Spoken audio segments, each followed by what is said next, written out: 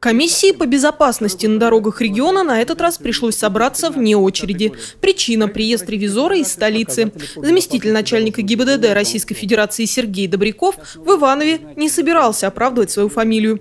Ситуация с дорожной безопасностью в нашем регионе, по его мнению, ужасная. Поэтому цель визита – услышать внятные оправдания из уст региональных чиновников. Сегодня правительство Ивановской области уделяет особое внимание вопросам повышения безопасности дорожного движения.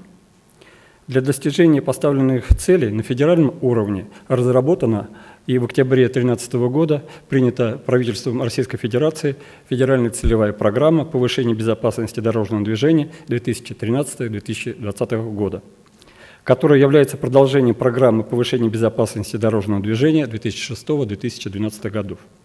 В состав новой федеральной программы вошли 71 мероприятие, и общий объем финансирования составит более 32 миллиардов рублей.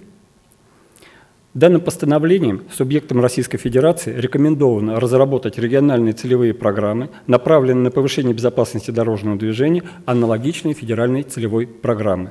Разработать подобную программу, но адаптированную к Ивановской области, департаменту Андрея Шушкина было поручено еще в декабре прошлого года. Поэтому доклад о туманных перспективах борьбы с аварийностью был прерван Павлом Коньковым. Выполнить строительство трех светофорных объектов в городе Кохме по улице Ивановской. Можно сразу же что сделано, что нет из этого?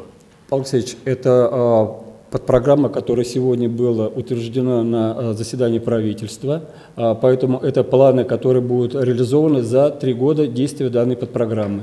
Семь месяцев понадобилось на разработку подпрограммы. В 2014 году она уже должна действовать, однако была утверждена только сегодня. Да и то наверняка благодаря визиту важного гостя.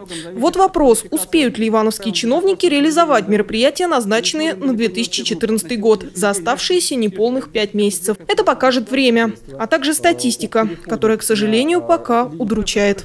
Наталья Романова, Андрей Семиволков, РТВ Иванова.